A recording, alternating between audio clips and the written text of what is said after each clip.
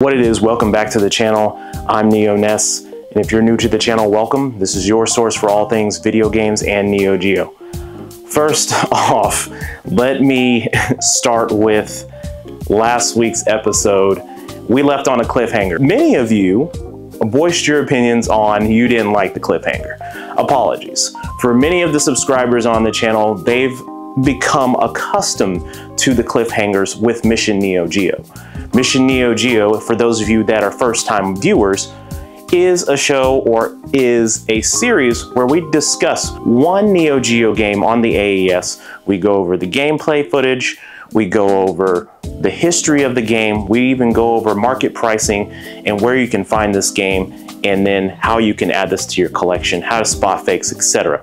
Tiberius is the co-host on that show, my counterpart, who also helps me during that process of the video. For many of you, you met him at the tail end of the video. So, my apologies for leaving you on a cliffhanger. Many of you have voiced the opinion that you don't like cliffhangers. And for those of you that have been longtime viewers of the channel, you completely understand and you are willing to wait. So I appreciate you on that. For those of you that said, hey, this isn't the channel for you, all good, no sweat.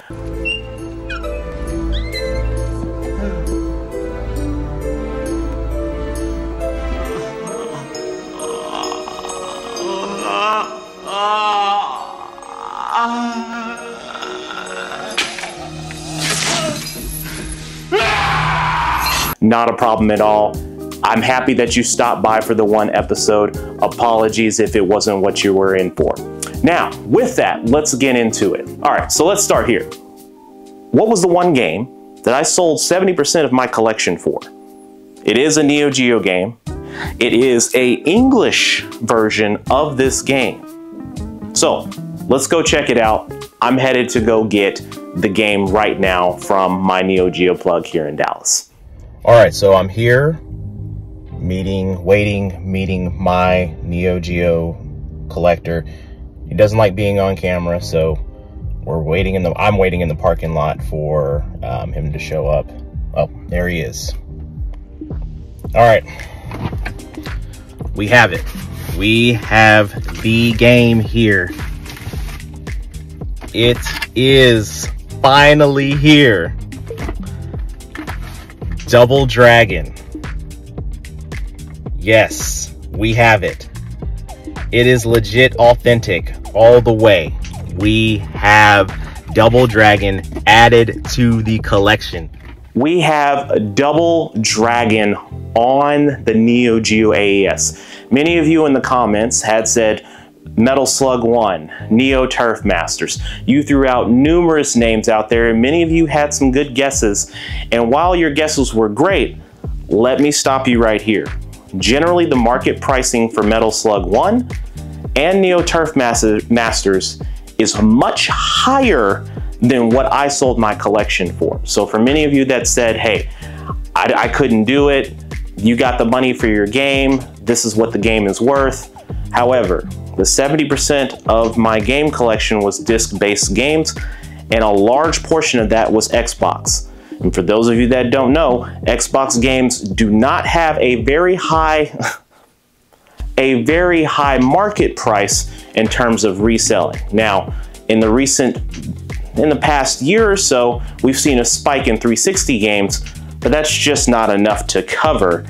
And that's why we ended up selling, or I ended up selling, the remaining portion of my PlayStation 2, PlayStation 4, PlayStation 5, some Nintendo 64, some Sega Genesis, and some NES and Super NES games. Now, since I've sold that collection, I have started to reacquire certain games on the Super Nintendo, Sega Genesis, and Nintendo 64. And I'm looking for more clean copies of these games. Some of them I've already reacquired, others are still on my list, and I'm not in a big rush to grab those, but we'll get through it. So let's go through the game. All right. So we have Double Dragon in an acrylic case here. So let's go ahead and open this up. And shout out to Kaiser, Kaiser Casing. Nice acrylic cases here. I've picked a couple of these up from the Neo store. So for those of you that are interested in acrylic cases for the Neo Geo, check them out.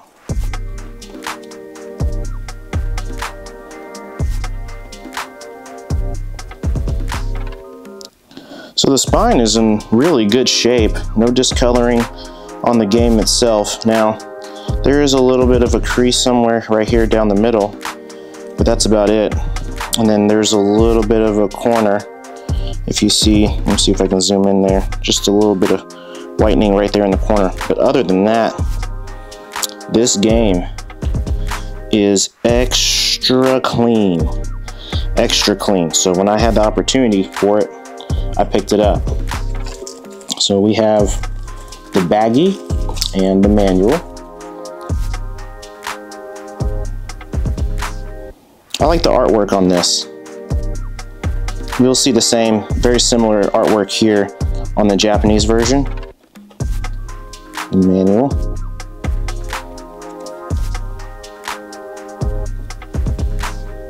Fight moves. It's in really good shape. So it's fairly easy. And if we look at the cart here, the cart is in really good shape here.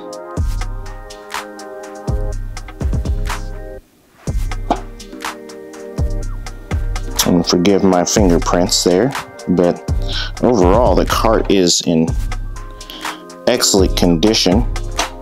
I have played it. I have uh, completed this game. I have beaten it already uh, the first day I got it. So I've I love Double Dragon. This is an awesome game. In terms of the inside of the box, no cracks or breakage on the inside, so that's in really good shape there. The cart sticker is in really good shape as well. Let's see if we can zoom in. There we go.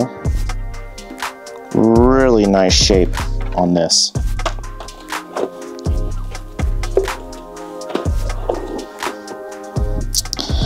Zooming out there.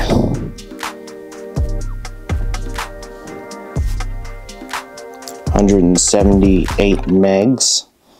I love that double dragon emblem. I mean, just the, the spine here just pops. Pops on the shelf.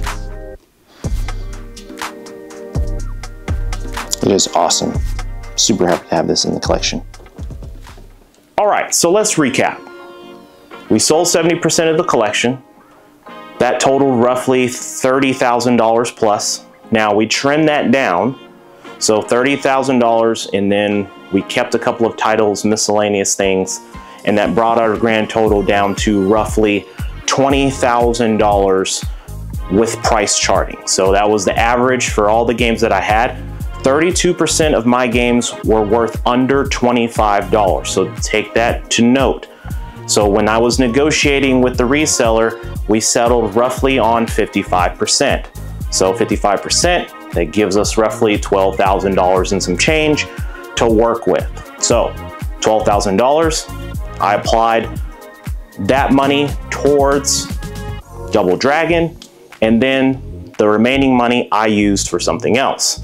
Now, I did have an opportunity to acquire another game, which I currently don't have yet, but it's on the way, and that is also a Neo Geo game as well on the AES. So that will bring our grand total of English titles needed to complete the set minus two down to 10 games left. So 10 games left that we have on the collection and we're done. Now I have subtracted Kizuna Encounter and Ultimate 11. Now a soccer game and a fighting game. Why did I remove these? Well, due to the fact that these games are extremely hard to come by in an English version. They're readily available in a Japanese version, and I might go after those in the future. I don't know. But as it sits right now, I'm primarily focused on the English set. So English set does not necessarily mean that they were brought over to the US. Double Dragon is an example of that.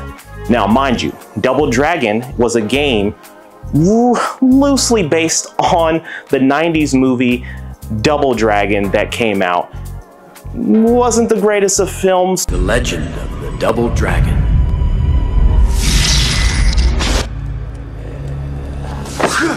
Hey! Broomhead! We're gonna sweep the floor with your skull! But you actually see bits and clips of that movie inside of this game, which is actually really cool.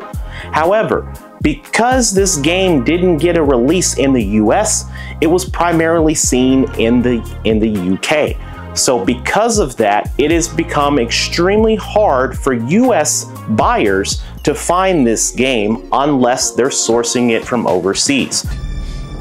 What are you going to do now? So take that to note. And this is the reason why this is one of those rare titles.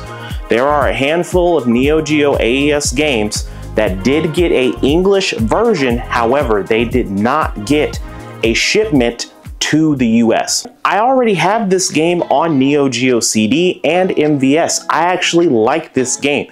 I like the gameplay. The fighting mechanics isn't too hard to learn and understand. And it's got a couple of secret characters as well, two boss characters.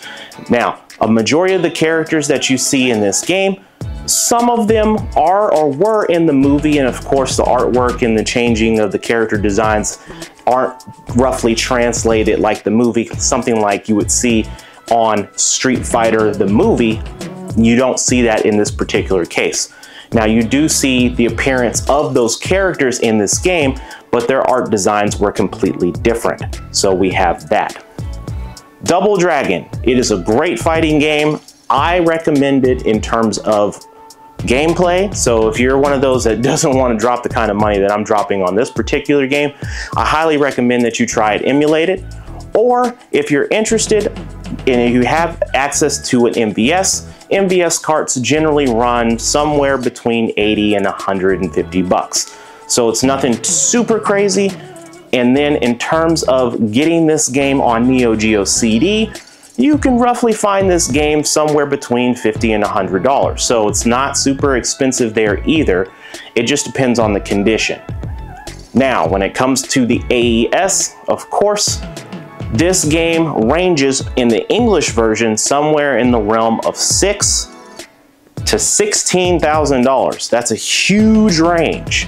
So you, I'll let you all speculate. I'm not gonna give you the exact number. You understand based off of what I spent you know what you know what it is. So it is what it is. Now, for a Japanese version of this game, it is going to be a little bit cheaper. Mind you, you have to be careful. If you're looking on eBay and you want to grab this game, be on the lookout. There's a lot of conversions, there's a lot of repro versions, and generally those games sit somewhere around 175 to 200 bucks. That is a dead giveaway, and generally they don't come with a manual, they come with the MVS marquee. If you're looking for an authentic Japanese version of this game, be prepared to pay somewhere between 450 and a thousand bucks, give or take, depending on who you're buying from on eBay. Generally, if you're buying this from overseas in Japan, some of the stores have priced some of these games a little bit higher over the last couple of years. And of course, Double Dragon has spiked in price compared to what it was a couple of years ago. So there's that but you can still get lucky and probably find this game roughly between four and 600 bucks if you're lucky. And if you're wanting something super mint, well, you'll just have to negotiate with a private seller if that's the way you're going, or if the seller on eBay has an offer up, try to offer and see if you can negotiate the price from there. So, what are your thoughts? Was Double Dragon worth it for me? Yes, it was. I love this game. I'm happy.